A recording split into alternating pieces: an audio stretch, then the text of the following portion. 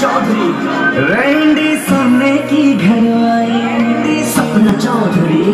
चुंदड़ी जयपुर कर मंगवाई रैंडी सोने की घर घरवाई गले में कंठी के कहने टोकरी चांदी की आठाई रूप कति निकले पाटिया चिकने बहु की माली खाली।